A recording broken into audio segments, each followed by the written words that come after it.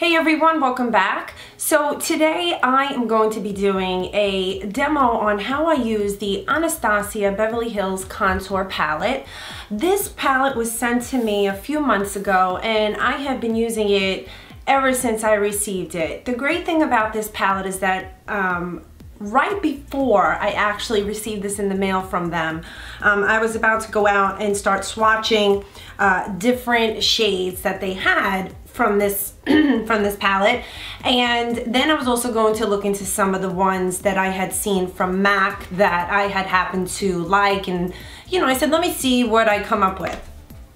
And then I was so happy when I received this in the mail because I didn't have to go out and swatch anything. I just had everything right there in front of me. And it made my decision that much easier for me because I was able to now actually go ahead and try all these colors and, and see if they worked really well on my skin as well as my client's skin and the texture and the pigment of it.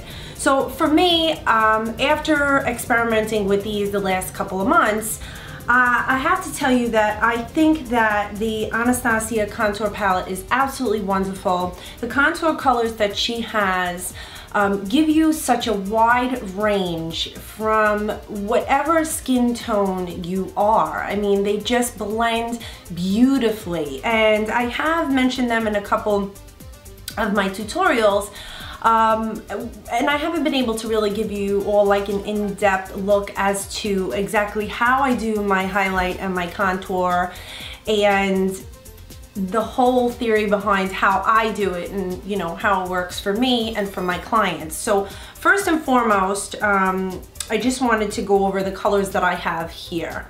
So on the top, what is here is the banana shade, which is this really great um, cancellation and highlight color that will highlight some dark circles if you have them. And it's, it's like a brightener. I typically take banana and vanilla. I uh, mix those two so together. I have uh, Java, Havana, and 10K. So I typically use, I mix these two colors together when I'm contouring in this area of my face or like even under the chin or the neck area. And they just really uh, blend really well with the type of skin color that I have. And this color right here, 10K, is a beautiful like highlight color that just looks great on all skin tones. It's not too light and it's not too dark. It's, it's actually really pretty. And I'm gonna show you um, in my tutorial, my demo in a few minutes, exactly how it looks when I put it on with what I have. And then up here I have Golden Peach and I like to use this on certain other areas of my face after I contour. So just to touch base with all of you a little bit uh, about contour and highlight. Now I know that it can become somewhat tricky and also uh, somewhat I would say scary. There are a lot of women that love highlight and contour and there are a lot of clients that I have and they'll tell me, oh, please can you highlight and contour my face? Um, what you see sometimes in on camera or in photos is actually a lot more in person and typically to do something like that for women every day or when they have an event to go to or even my bridal clients it's way too overpowering. So anytime I do any type of highlight and contour, for me, I find it best that you can use product, uh, but you can make it look very natural. And what I really like about this palette, uh, this contour palette, these six shades, is that it gives you the ability to highlight and contour and look exceptionally natural and not overdone. And if you're the type of person that likes to blend, then I think that this would be a great opportunity for you to try out these colors um, and utilize them in your routine, especially if you're going out. Each individual refill pan or one of these um, their refill pans, they will run you $14 each. So you actually save when you purchase six. Uh, you can see the colors online at her website, which is anastasiabeverlyhills.com, and um, you will be able to see that they have uh, such a wide range of colors to cater to all skin tones and skin types from light, medium, tan, dark, uh, if you have red undertones. So if you are on a budget, and you find that you do not have the money to spend on the entire, you know, six colors, what I would recommend is one of two things. Purchase yourself one highlight color, which would be great for setting your concealer and highlighting down the bridge of your nose or even under your jawline, you know, underneath the contour area right here. The second thing is to get a nice contour color. So if it was up to me and you have a similar skin color to me, the two colors that I would get and I find that would be beneficial uh, for someone the similar skin tone as myself is vanilla and java. I think that you will do really well with those two colors. Now, um, if you don't want to go in and get a highlight color, then don't, but definitely try the contour colors. Uh, they are so easily blendable. They're very pigmented, but they just blend so easy. There is not fallout. There is like practically no fallout with these uh, pigmented powders. I mean, they just, they look great. They really, really do. They, they glide on creamy. I am excited to show all of you how I use the Anastasia Beverly Hills Contour Palette. So if you do want to see how I use it and how I highlight and contour um, on a daily basis or if I were to have that really natural look, but you can also incorporate this into an evening look if you're going out um, or if you have an event to go to, which, you know, whichever, and, um, you know, just, uh, just play. My, my biggest thing that I tell my clients is, and my followers is, just keep playing and blending. The worst that can happen is that if it does not look good is you wash it off. That is the worst that can happen. So let's just get right into it so I can show all of you how I highlight and contour using this palette. Okay, so the first thing that I'm going to start with is I'm going to highlight um, in underneath my eyes and those are the areas that I want to reflect more light and appear because when those are brighter they appear more open. So what I'm going to start with is the banana powder and the vanilla powder which is right here, these two and I'm going to mix these two together to set my under eyes. I'm going to use a tapered highlighter brush. This is from Sigma F35. It looks like this. And I'm going to take the yellow toned one and the lighter one, which is vanilla. Okay, and the first thing I always do after I finish my, uh, my makeup is I go right to my concealer so right now I have only foundation on and a little bit of concealer, which is the MAC Pro Longwear in this area. I'm wearing Giorgio Armani's Luminous, Luminous Silk. And so now this is how much I have on the brush. And then what I'm going to do is I'm just going to start to set under the eye. And when you do that, you kind of want to bounce on it. You don't want to just like brush it on because that's not going to really do what you want. You want the powder to actually sit and absorb into the concealer as well as your own natural oils. Whether you have dry skin or normal skin, oily skin, you do have oils on your skin and they will absorb. So as you could start to see now with just that one pass of the, excuse me, of the concealer, um, of the highlighting, um, it, this area actually appears more bright. So now I'm gonna go to the other side and I'm gonna do the same thing and I'm going to press. I'm pressing in. You want to do that so that, you know, it, it adheres to it. And I don't like to use just the straight banana color alone, even though it's great, um, just because I like a little bit more neutral tone color under my eyes. Now I'm gonna go back in with this vanilla color right here. Underneath in these two areas. So already, as you can see, I have formed this nice highlight right in this area, okay? So when you are highlighting, those are the areas you want to appear more bright. Then I'm also going to take this color and I'm gonna bring it down the center of my nose, right here. Just a little bit. I'm gonna show you what I'll do next with the contour colors. And before I go and highlight anything else, I do it a couple different ways. So you can highlight or contour or do contour first or highlight first. I kind of do both in between because I like to see the way the definition in my face is coming out So what I'm gonna do now is I'm going to contour right underneath in this area right here, which is if you, if you find this part of your ear, you're going to actually just match it up with your finger and there's going to be a little dip here. And even if you don't have a little like hollowness here, don't worry because you can create it. So here's your cheekbone and then you're gonna go right under the cheekbone right in here. So the brush that I'm going to use today, I, I just absolutely love it. This is a great contouring brush. This is from IT Cosmetics. This is the Velvet Luxe Soft Sculpting Brush. Um, and it just really does a great job at contouring in these areas because it has this angled appearance to the brush. I'm gonna put a link below to these um, all the brushes that I received from IT Cosmetics and you can actually see more um, in-depth information about it. The first color that I'm going to contour with is Java and I absolutely love this color. So if you are in the same skin tone family as me, this is a must have. So it's this color right here. And what I do is I take a little bit on the side of the brush. You could go to either side, whichever works for you. And then I give it a quick tap, but it doesn't lose a lot of powder. So now, as you can see, I have just a little bit right here at the top of the brush, okay?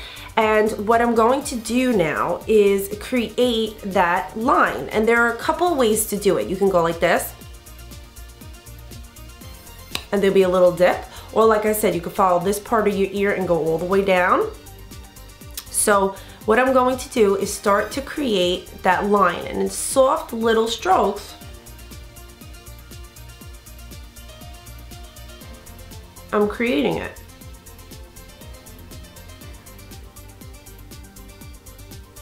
And you want to go gentle. You don't really, for me, I don't like when the contour lines are very um, deep and harsh. When you're doing highlighting and contouring, you want it to look natural. Well, as far as I'm concerned, I like it to look natural, including including even on my clients. I don't like anything over the top because it's so nice when you have this beautiful highlight and contour that just looks like it matches your skin. That's the whole goal. If you're going in for like a red carpet, a red carpet look, yeah, you could go a little bit more if you have a huge event and you're taking all these photos and you really want it to be very noticeable, then yes, you could add a little bit more. So now what I'm going to do at this point is, here I have this line right here, okay? Now the next thing to do is to start to blend it in. And in order to do that, the way I do it is I take the brush and I start to move it side to side, but then I press, I press in. This way it looks more skin-like and it gives more of that appearance of skin. So looks more natural. So as you can see, I'm taking the brush and I'm pushing it in.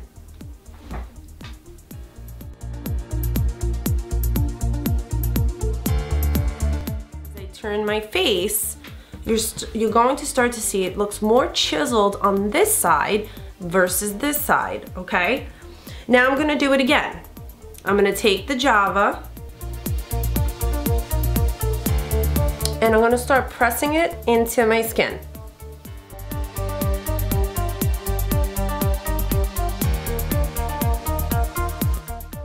I'm gonna match it up on both sides and as you see, I'm pressing and I'm lifting up. Why? Because I want my cheekbones to come up. And that's what you want when you're doing a contour, under the cheekbone. So I'm gonna go up.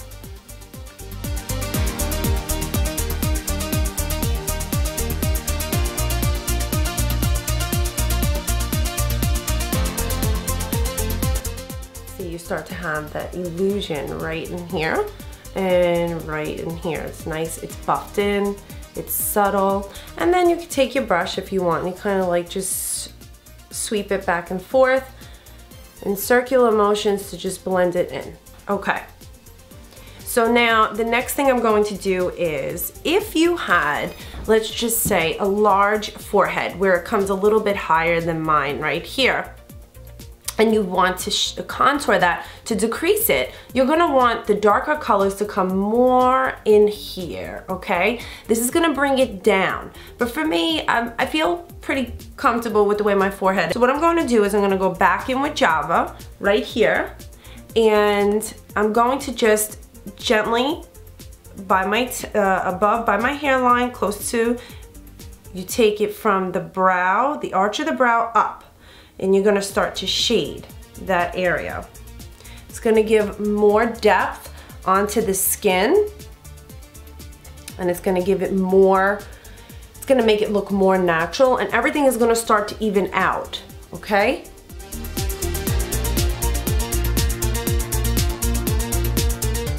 see I started to create a little bit of shading in this area just to deepen it up. So then if it, it kind of matches what's going on here. Now, if you wanted to contour in this area, whether you had a double chin here or you just want more definition, more sculpting in this area, you're gonna go back in with a deeper color and I'm going to use Havana. Okay, I'm gonna go a little deeper. I'm gonna play a little bit with the colors. So I'm gonna take Havana, and all I'm going to do is start from here and work my way down into the front. That's it. You don't wanna do too much. It's gonna become very apparent that you did that. And I'm just brushing it along my jawline. If you, don't forget to take a little bit of Java or any other color that matches, you're gonna bring it right down the center of your neck, okay? This is going to elongate the neck.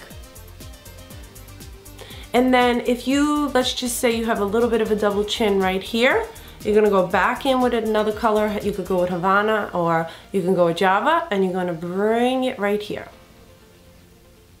And then it's gonna shade this area here and it's gonna push it away. It's gonna push it back. Whereas light, anything light gonna, is gonna come forward. If let's just say your nose, you wanted to contour it a little bit, it looks a little bit flat because of the way you have the foundation on and everything else like that. So what you're going to do is, what I do and what I recommend is I'm gonna go back in with Java right here. I'm gonna take a little bit. This is a tapered blending brush E40 from Sigma. And I'm gonna take that blending brush okay? I'm gonna put a little bit on the side of it, and then I'm going to go down to the nose. So what I do is, I like to start right here. So if you figure right at the corner of your eye, you're gonna move it over, okay? And you're gonna match that and you're gonna come down.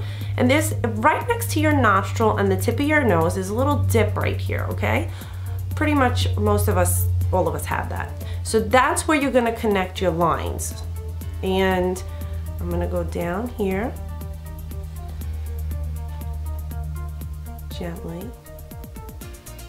You don't want to do too much in this area because then it's gonna just start to make your, no your nose look really fake and you're not gonna want that. I'm gonna go a little bit more here. Do the same thing.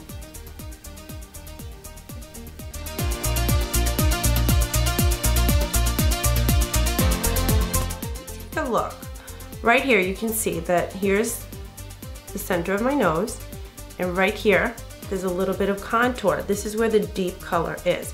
You don't want to bring it all the way down because then it'll start to look muddy and you will look like you have no nose on this part. And underneath here, you want to add a drop right to the tip.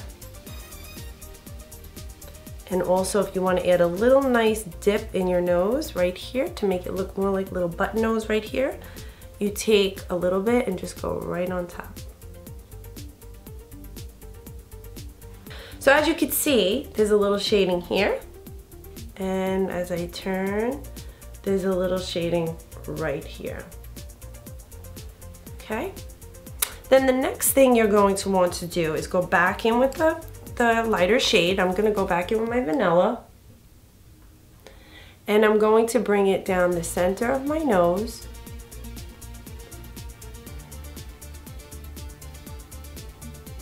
Okay, and don't forget that when you're doing this, you really wanna blend really well. Where it was a little bit darker. And what you can do is you could take your fingers and just kind of blend it out really nice with that. The good thing about these powders is for me, you could even set your foundation with them. I think they're great. So I'm gonna take this other color that I have and I'm gonna mix it together with the vanilla shade that I have. And I'm gonna mix these two together. I'm going to go right into the center right here. And I'm gonna start to take my brush. I'm just gonna tap it right in that area, okay, to make it appear more bright. Golden Peach again, alone. And I'm gonna go right here underneath where I did the contour. So you don't just see one shade. You don't just see your foundation and then a contour line. There should be continuity going throughout the whole entire face. Don't forget. Golden Peach right here. Now what I've done is I've, I've highlighted and contoured into the nose area. I've done the forehead. I've done the cheek area over here. And now the next thing that I'm going to do is, if you want to create the illusion of a fuller lip, I'm gonna go back in with the color Java, and right under here, I'm gonna deepen it a little bit. What you can do is you could take a little brush like this, and you could squeeze it together to give it this type of shape, this fan shape, but not too tight. And I'm just going to put it right under here, in the center of the bottom of the lip give you the illusion of more of that fullness and like a pucker in that area. Blush. And I'm going to take the color just to show you guys exactly how I make this work. Um, I'm gonna take this color from MAC and it's called Well Dressed and I'm gonna apply my blush, okay?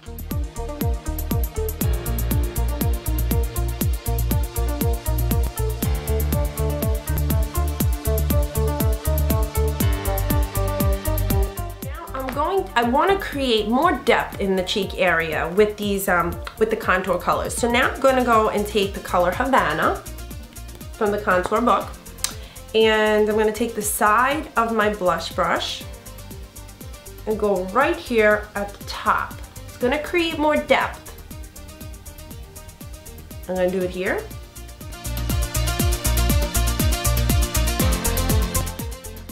Then I'm going to go back in with that contour brush and I'm gonna start patting it in and blending it into the skin.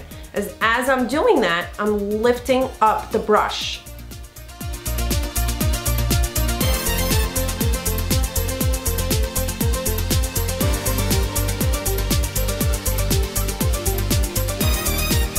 thing you can do is take a lighter shade and to create more of a contour and a highlight onto the face Right underneath this dark area, you want it to pop. You're gonna take a lighter shade and you're gonna go underneath right in here. That is going to give you more of a chiseled look on the face. I'm gonna take the yellow banana color, just add a little bit right up here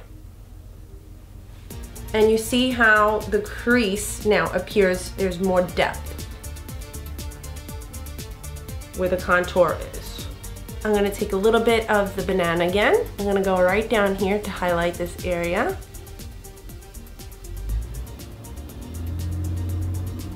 Now, if you want to highlight in addition to what you did here on the cheeks, I love this color.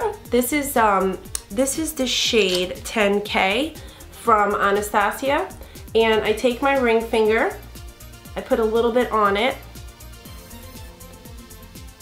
And now what I'm going to do is I'm gonna roll it in this area on to the skin. It's gonna give you the illusion more of that glow in that area. If you want, you could also take just a drop, put it at the tip of the nose. It's like a really nice little highlight right there. And don't forget to take a little bit now, you can just put this at the cupid's bow. But if you want your cupid's bow to stand out just a little bit more, what I suggest is going back in with that fluff brush, um, which is the E40. I'm gonna take this shade right here and I'm gonna just put a drop right where the cupid's bow is right here. And it's gonna give the illusion, uh, give it more of that pucker right up top. Okay? Then I'll take the highlighting shade, 10K, and I'm gonna put a little bit right here. and you can see it starts to appear more open in this area. Now, if you have oily skin, you do not have to do the highlighting part with the 10K or any type of shimmery product. These will probably make you appear more oily. Just go in with a lighter shade that's more matte. That's it. So that pretty much sums it up on how I highlight and contour. Now I'm gonna finish the rest of my makeup Okay, so right I hope that all of you enjoyed this quick tutorial review and demo on how I use the Anastasia Beverly Hills Contour Palette. Please let me know if you have any questions and as always, I am always here. Don't forget to follow me on Facebook, Twitter, Instagram, Pinterest. You can pretty much follow me everywhere, find me everywhere and um, you know, I will see all of you in my next video and a very big thank you to all my new subscribers. Thank you so much and if you like this video, please give it a nice thumbs up. I'll have more information listed down below. And, uh, and that's it. I'll see all of you next week. Take care.